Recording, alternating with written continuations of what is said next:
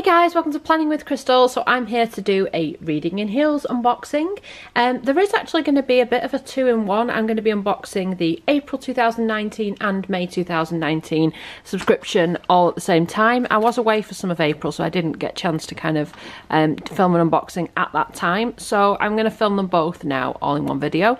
If you do just want to skip ahead and see the May box, then I'll put a timestamp here. Um, otherwise, let's get into the April box. Now, from the March Reading in Heels box, we received the book House of Beauty by Melba Escobar. Um, so, as usual, I'm just going to kind of tell you what I thought of this book. I actually really enjoyed it.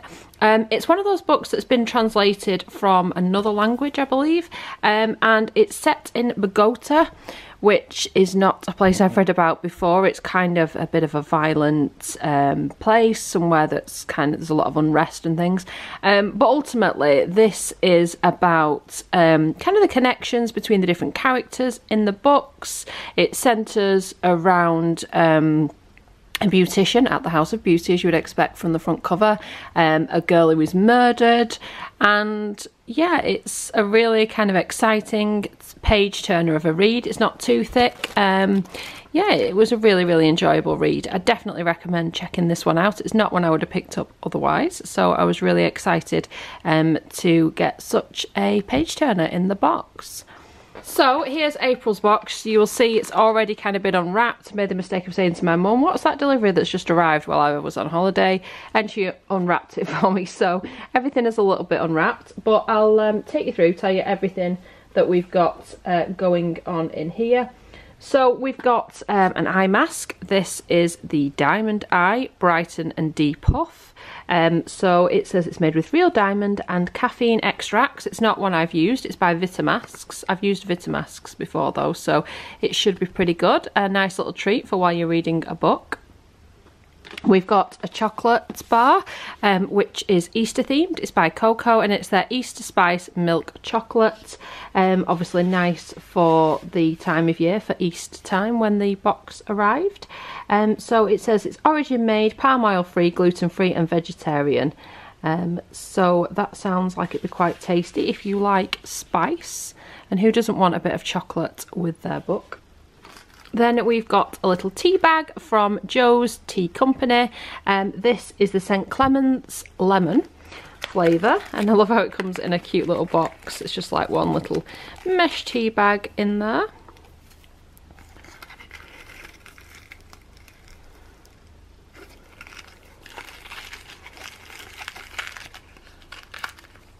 There is a little pack of post-it notes, which is always quite handy if you want to make any notes or maybe annotate certain pages of the book um, or make notes, anything like that.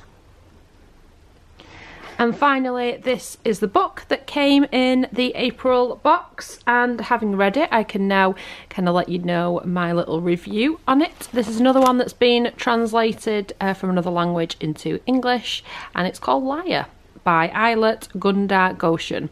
So you can see the ice cream on the front. It centres around a kind of plain girl that works in an ice cream parlour and something happens. She kind of wrongly accuses somebody, which is why it's called Liar.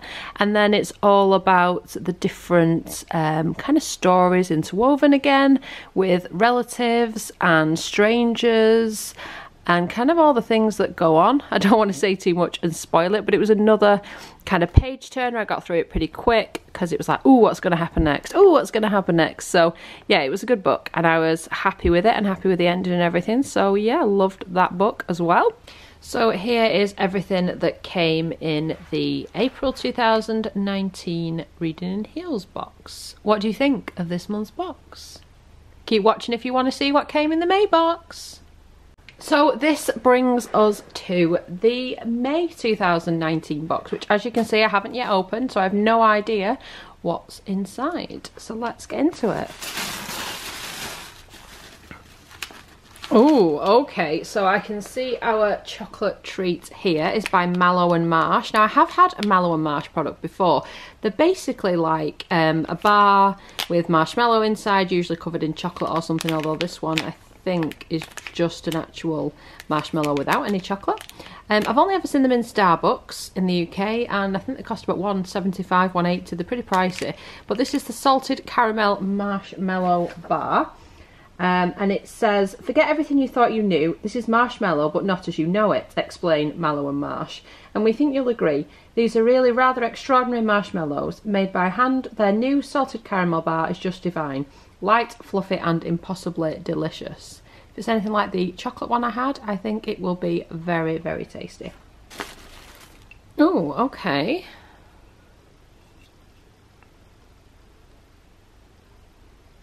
Hello. So it's a mirror. Um, a little handheld mirror. There's something to check your lipstick on the tube. This is it. We hope you love your these pretty printed mirrors, perfect for pockets or even the most diminutive clutch. Whatever may be their use in civilised societies, mirrors are essential to all violent and heroic action. And if they're good enough for Virginia Woolf, always kind of handy to have a little mirror to hand.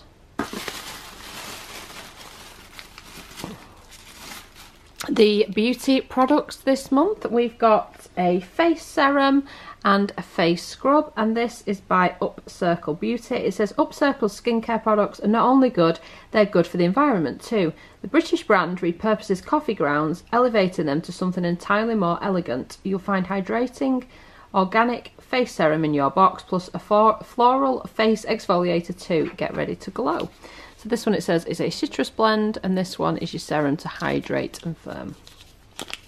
I love that they've been made in the UK as well. It's nice to support British brands. Then for our kind of drink this month, we've got a coffee bag, which is a nice change from tea, because not everybody likes tea. Some people would prefer coffee. I like a bit of both. So this is by Percol, and it's their Colombian coffee bag in strength number three. It says, pioneering the use of organic single origin beans, Percol made the first ground coffee to be Fairtrade certified, and they invest in the farmers they work with too. We love their coffee bags, rich, packed full of flavour, and so easy if you fancy a good coffee on the go. Prefer something stronger? Head to the blog for our fail-safe espresso martini recipe. So something uh, delicious to drink there alongside your book. And then finally, let's get into the book this month. This is called Ponti by Sharlene Teo. Not a book or author I'm familiar with. Let's see what it's about. It says, It is 2003 and in the sweltering heat of Singapore, 16-year-olds Sue and Circle, Cirque? Sue and Cirque? Develop an intense friendship. For Sue, it offers an escape from Amisa, her beautiful, cruel mother, once an actress and now the silent occupant of their rusty house. But for Cirque, their friendship does the opposite, bringing her one step closer to the fascinating, unknowable Amisa.